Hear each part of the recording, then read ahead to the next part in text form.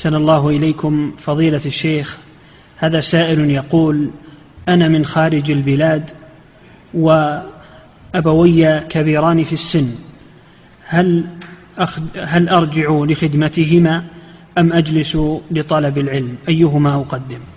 إذا كان يحتاجان إليك أرجع إليهما واخدمهما. إذا كان لا يحتاجان إليك عندهما من يخدمهما؟ أو أنت استأجرت واحد يقوم بخدمتهما فاطلب العلم. نعم. إعداد مشروع كبار العلماء بالكويت أعزها الله بالتوحيد والسنة.